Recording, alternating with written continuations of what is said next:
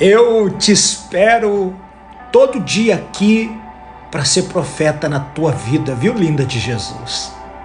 Quando você chega atrasada, quando eu não vejo o seu coraçãozinho no vídeo, eu já fico preocupado.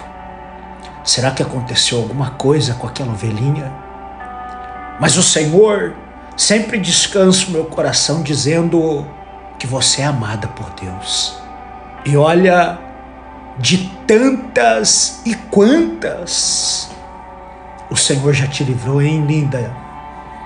Linda com todo respeito, é claro, porque a maior beleza sua é a generosidade do teu coração.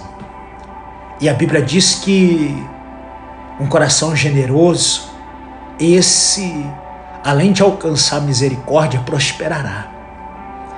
E o Senhor me faz saber, me faz sentir através do espírito da profecia que tem um tempo de abundância chegando para você. Você sempre foi uma mulher trabalhadora, uma mulher que não é de dar desculpa, uma mulher que é de arregaçar as mangas e fazer acontecer.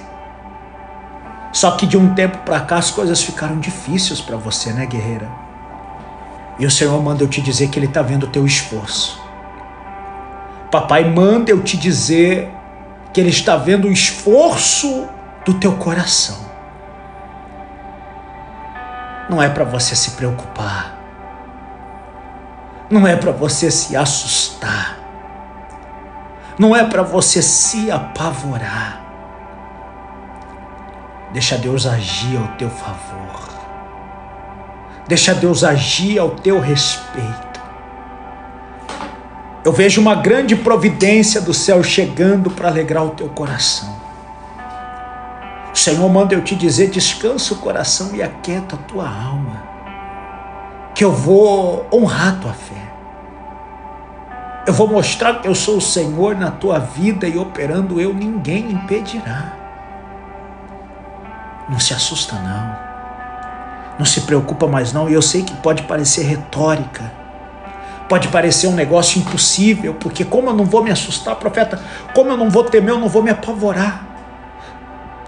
Mas o Senhor mandou te dizer pela palavra: lança a tua ansiedade nos pés do Senhor Jesus que Ele vai cuidar. Ele já tem cuidado, mas Ele vai cuidar de tudo aquilo, oh glória, que está tirando a tua paz.